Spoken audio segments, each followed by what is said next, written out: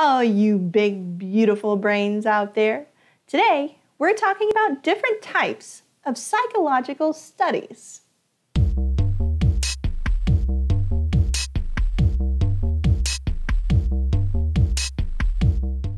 Before we get started, take a minute and subscribe to Psy versus Psy.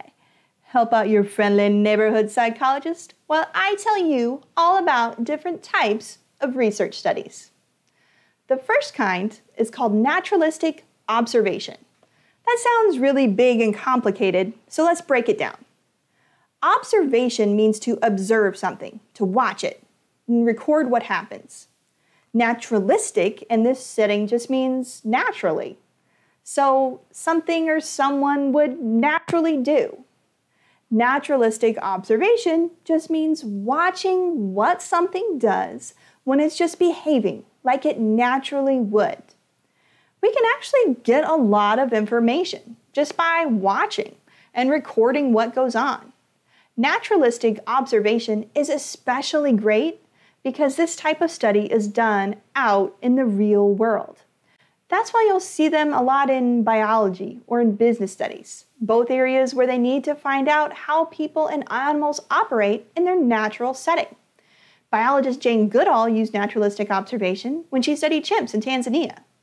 Business majors will use this all the time when you're looking at consumer buying behavior. This is probably the cheapest kind of study you can do. Usually, it only involves the researcher and maybe a computer or phone for keeping track of the data. There is a pretty big downside to naturalistic observation, however, and it's that every researcher carries pre existing biases that can obscure what they're actually observing. When this happens, we call it observer bias. And the best way to overcome it is to make sure you have more than one other person also watching the data that you find out in the real world. Even though they'll have their own pre existing biases, the more eyes you can get on the data, the greater the chance that you'll get a true unbiased reflection of what's really going on. The second type of study we're going to talk about is a case study. Case studies are up close, in depth studies of one particular case. The case can be a particular group or a situation or an individual, but usually there's something highly unique and special about that case because these types of really in depth studies are costly and time consuming. Oftentimes in psychology, Case studies look at individuals who are under specific biological, behavioral, or developmental conditions that would be unethical to inflict upon another individual. For instance, the case study of railroad construction worker from the 1800s named Phineas Gage. He suffered an accident where a large iron rod went through his left frontal lobe, basically destroying that part of his brain. Now, obviously, it wouldn't be ethical to give somebody brain damage just for the sake of a research study. But if someone already has that type of condition and they're willing to participate in the study, the information you can learn through a detailed case study can be incredibly helpful to the study of the brain and behavior. Another thing to remember about case studies is that just because the information is so specific to that case and individual, it can be hard to generalize that information to a wider population. The third type of study we're going to talk about, and probably the one that you're most familiar with, is a survey. Most of us have taken surveys, whether they were customer satisfaction surveys like rating an app or a game, or market surveys for things like TV viewing habits from places like Nielsen, or even just like BuzzFeed surveys about what kind of muscle car you'd be based on your choice of cupcakes. surveys ask people questions and just record how they respond they can be pretty useful. For starters, they get you lots of information really quick. Also, they're pretty cheap and usually pretty easy to put together. But surveys come with a massive downside. So, think about a survey you've taken, any survey, doesn't matter from where. Now, on that survey, did you answer every question completely honestly? Yeah, it's a huge problem. People are not always accurate. Maybe they didn't understand the question, or maybe they might not want the researcher to know how they feel. The problem gets even worse when you start offering cash or prizes for completing the survey.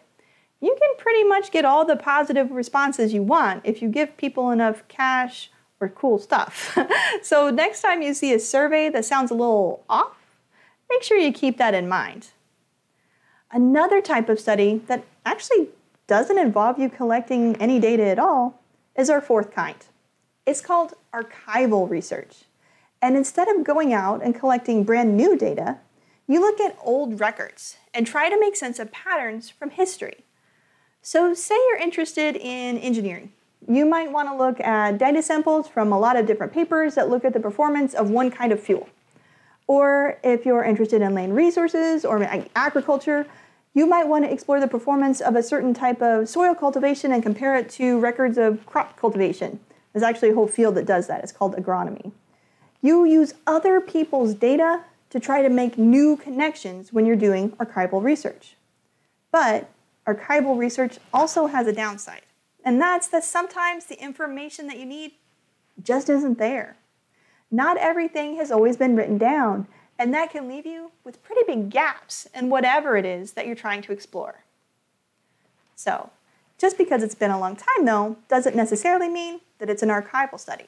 It could be our fifth kind, could be a longitudinal research study.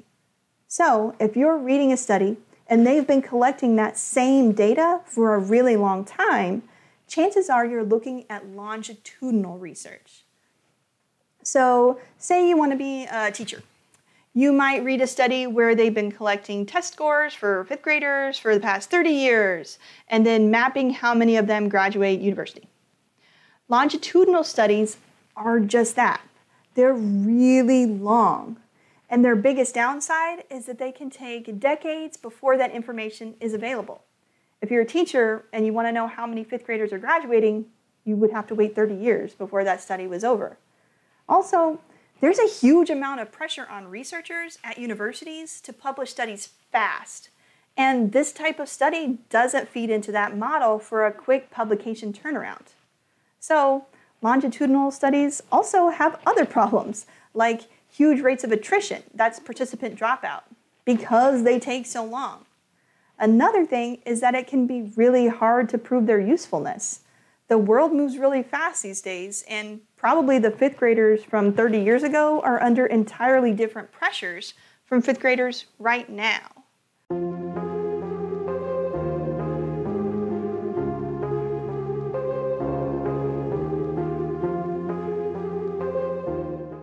So, if you want to find out more about why research is so important, especially in psychology, check out this video from Psy vs. Psy. Or if you want to watch our latest video, click right over here. Make sure you like, subscribe, and do all those fun YouTubey things. And until next time, keep thinking, and I'll see y'all later. Bye.